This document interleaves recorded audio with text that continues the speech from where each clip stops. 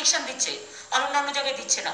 আমি যদি একটা রাফলি হিসেব করি তাহলে দেখব, এমনকি যাদের বেশি প্রয়োজন, তাদের যদি টোটাল আমরা ইনজেকশনটা দেওয়ার চেষ্টা করি, সারা দেশে মানে আমি সারা ভারতবর্ষের কথা বলছি, কুড়ি হাজার কোটি টাকার মধ্যে কিন্তু ইলেকশন ইনজেকশনটা হয়ে যায় মোটামুটি, দেড়শো টাকা করে যেটার দাম।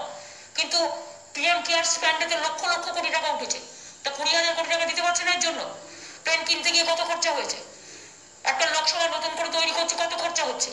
একটা মূর্তি তৈরি করতে গিয়ে কত খরচা হচ্ছে? আর যেখানে মানুষের জীবন, আজকে জীবনের খেলা, সেখানে জীবন মৃত্যুর খেলা, সেখানে মানুষের জন্য বিশ হাজার কোটি টাকা খরচা করা কি এমন ব্যাপার? এতে এক সেকেন্ড লাগে, এক সেকেন্ড লাগে। কিন্তু দেবে থেকে কোভিডের যে medicine central government sixty five percent medicine বা যেটা ভারতবর্ষে তৈরি হয়েছিল, পুরো পাঠিয়ে দিয়েছে অন্যান্য দেশে। দেশে মেডিসিন নেই মেডিসিনের হাহাকার, আর অন্যান্য দেশে মেডিসিন পাঠিয়ে দিয়েছে। এই অবস্থার শুধু প্রধানমন্ত্রী ভাষণ দিলে তো হবে না অ্যারেঞ্জমেন্ট করতে হবে। নেগলিজেন্স যখন তারা করেছে, আমি এটা নিয়ে রাজনীতি করতে চাই না। কিন্তু এটা